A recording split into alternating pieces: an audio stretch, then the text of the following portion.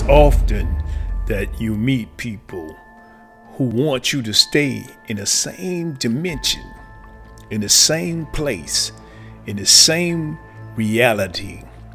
They want to put a ceiling on your dreams. They want you to believe that everything that you see and everything that you feel is dependent upon their opinion. But look at the people who's talking to you. Read what some people write and look at the negativity involved. See, I have learned that some people live in a small space.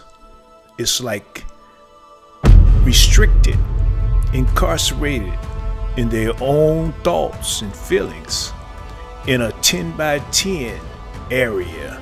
Sometimes it's a chair or a couch or a dance floor or picnic area. But it's that same place, that same space.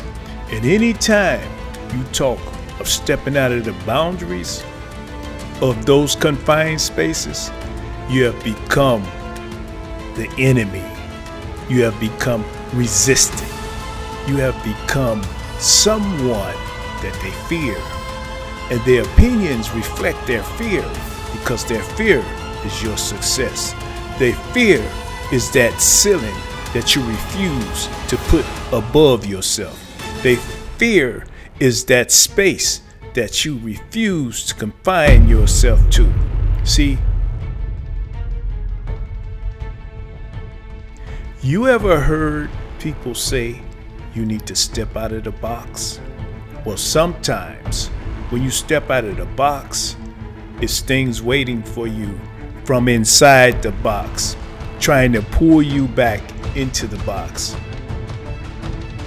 Now, the only way that can happen is if you hear the yells and the screams and the loud voices and those negative opinions of you outside the box.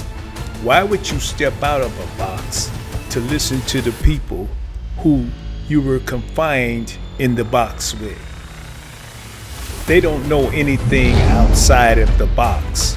So, how could a person inside a box give you advice and suggestions on what's happening outside of a box if they never been outside the box?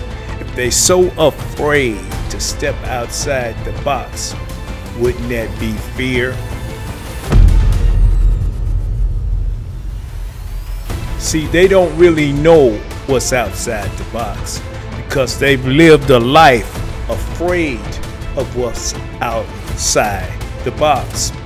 And once you stepped out there, they have told you for so many years of the dangers of what was outside the box. And that is the only thing that they have to live by. Is the fear of what's outside the box.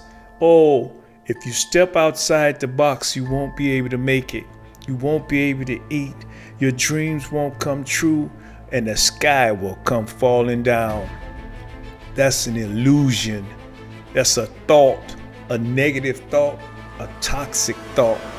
That is the thought of those of us who sometimes incarcerate our own minds through our own psychological beliefs, if not those given to us by people have put us in the box and we in the box with them and we share our opinions and our views and our fears of what's outside the box.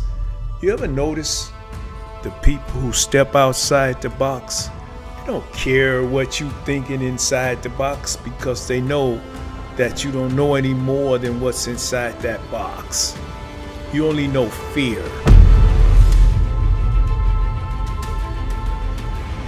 Fear, fear, fear. God hates fear. Successful people do not thrive off of fear. Fear is the ultimate pessimism. That's what it is. Pessimistic views of things, especially what exists outside the box. Sometimes, let's take that chance it don't matter what age you are. It don't matter if you're short or tall, if you're fat or skinny. It don't matter if you're rich or poor.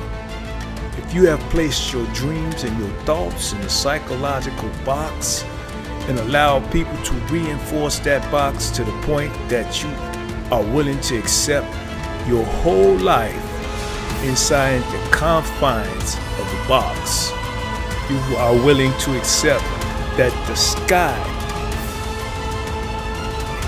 is not the limit. You are willing to accept that fear is greater than love or joy or achievement or success or change or transformation or the belief in faith in God that there is more in store for you than what's in a box. Do you really think that God brought us here for us to live in a box? To be restricted to small spaces. Some of us, we go to the same place every week, do the exact same thing every week.